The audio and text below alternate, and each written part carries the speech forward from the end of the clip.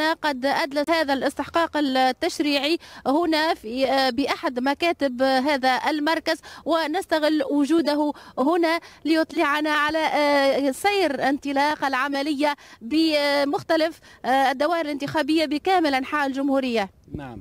آه، هو الساعة الثامنة صباحا آه، كل مكاتبنا ومراكزنا في تونس اللي تعرفوا عددها يفوق ال 4500 مركز آه، ما يفوق 11300 مكتب فتحت في الساعة الثامنة صباحا.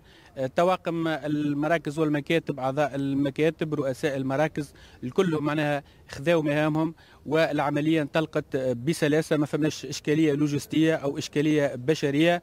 الساعة الأولى فما مؤشرات إيجابية أنه عدد محترم قاعد يتوجه إلى صناديق الاقتراع. نأمل أنه مازال فما ساعات طويلة تفصلنا إلى الساعة السادسة أنه الناخبين التونسيين ما يفوتوش هذه الفرصة لاختيار من يمثلهم حقيقة في مجلس نواب الشعب لأنه تعرفوا نظام الاقتراع على الأفراد. الميزة نتاعو هو أنه الناخب يعرف جيدا المترشح ففرصة للناخب أنه يختار عن آه، روية وعن آه، معرفة.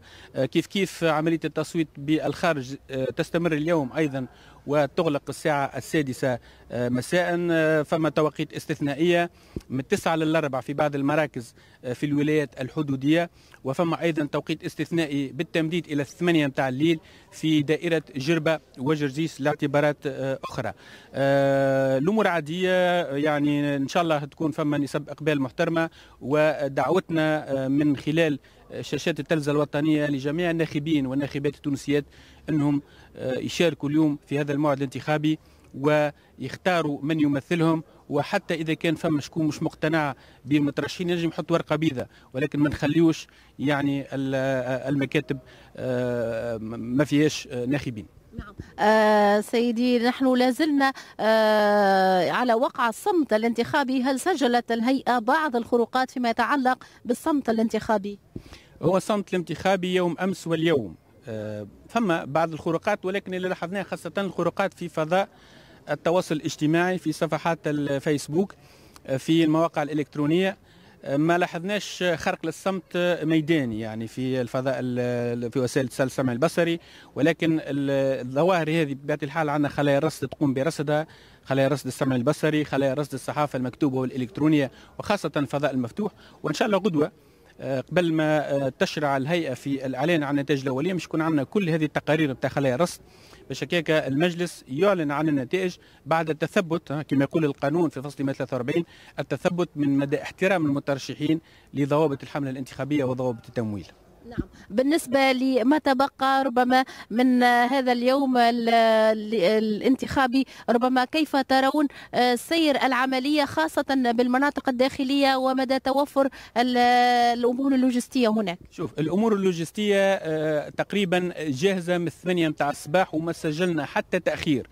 في حتى مكتب اقتراع كيف كيف ما سجلنا حتى خلل لوجستي في المعدات الانتخابية وهذا شيء إيجابي. الساعة الأولى أيضا وإحنا توا تقريبا في الساعة الثانية آه، فما حسب المعطيات اللي جينا حينا في نسب الإقبال فما نسب إقبال محترمة. نتوقع بطبيعة الحال أنه ترتفع هذه النسبة كلما اقتربنا للساعة السادسة مساء. نعم بالنسبة لذو الاحتياجات الخصوصية ربما هل آه تم الأخذ بعين الاعتبار احتياجاتهم خاصة عند الولوج والدخول مكاتب الاقتراع والأداء بأصواتهم بكل سلاسة؟ طبعا ذوي الإعاقة تعرفوا إنه عندهم بالنسبة خاصة للمكفوفين ورقة التصويت آه، براي باش ينجموا يمارسوا حقهم بمفردهم بدون مرافق.